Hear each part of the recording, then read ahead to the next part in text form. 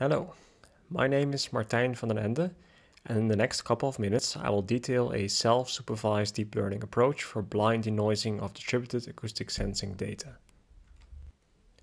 I would like to begin with this picture of a horse. And this is a special horse because it is very coherent. Now what do I mean with coherence? Suppose that someone put a blank patch on the image, such that we can't see what is underneath.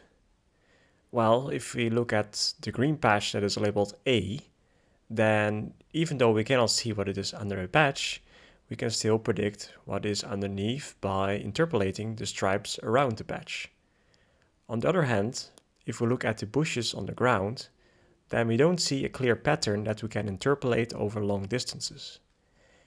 So if someone put a patch on the bushes, then we could only guess the average value, which is green, but no other details that could exist underneath the patch. We can define this concept more formally in the framework laid out by Batson and Royer, who coined the term J-invariance. Suppose that we have some input z for which we can define a partition j. A J-invariant function, let's say g, is one for which the output does not depend on the input z that sits within the patch j. To bring this back to the zebra example, the input is the original picture of the zebra, and j is a blank patch of pixels.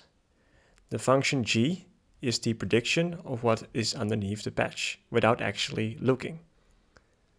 And Batson and Royer used this concept to develop an image denoiser with certain theoretical guarantees, but we can use the same principle for denoising DAS data.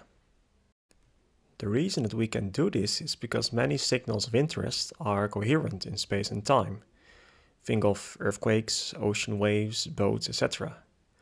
On the other hand, incoherent noise originating from electronic or thermal sources can obscure faint signals of interest and may overlap in frequency content. Therefore, it is not always possible to separate interesting signals from noise with traditional filtering techniques. However, as we will show here, it is possible to separate them using the concept of J-invariance. The data we used in the study were collected in two back-to-back -back distributed acoustic sensing experiments conducted in April 2019. In these experiments, two submarine fiber optic cables were sensed continuously, which recorded dozens of regional earthquakes. Out of those recorded earthquakes, we selected a few and applied some standard preprocessing such as bandpass filtering. We then constructed a U-Net convolutional autoencoder which takes a set of waveforms as an input.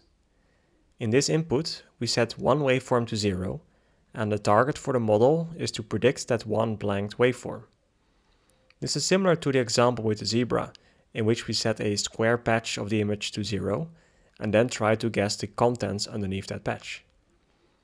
Since incoherent noise cannot be inferred from its surroundings, the model prediction will automatically be zero.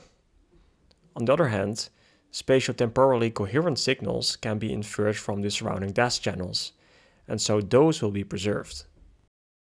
Now you don't have to take my word for it that it works, because we have many examples showing that this approach is very efficient in recovering spatiotemporally coherent signals, while suppressing incoherent noise. Here is one of those examples, where we have an earthquake recorded along most of the HCMR cable. And note that in the original data, we have lots of incoherent noise that obscures some of the weaker signals around 10 to 20 seconds. After applying our J-invariant model, those weaker signals stand out much more clearly. We also see this in the individual waveforms, which show that the noise recorded prior to the earthquake is greatly suppressed, while the earthquake waveform amplitudes remain well preserved.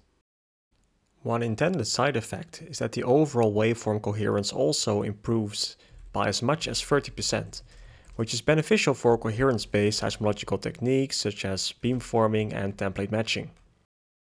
In some cases we indeed see that beamforming the J-invariant filtered segments leads to much more interpretable beamforming results. And this is a direct consequence of the improved waveform coherence. So in conclusion, our proposed denoising method is greatly suitable for DAS data, because it is entirely self-supervised and so requires no clean ground truth, which is not available for DAS. Also, the model is fast to train and requires very little data. After applying a model to real-world data, we see that it is able to separate earthquake signals from incoherent noise that shares the same frequency band, and that the signal coherence increases. And this will aid numerous seismological analyses, including micro-earthquake detection, beamforming, template matching, and many more. Lastly, all of the data, codes, and pre-trained models are freely available from Figshare, and we also just submitted a preprint with all of the details to EarthArXiv. Please contact me via email or Twitter if you have any questions.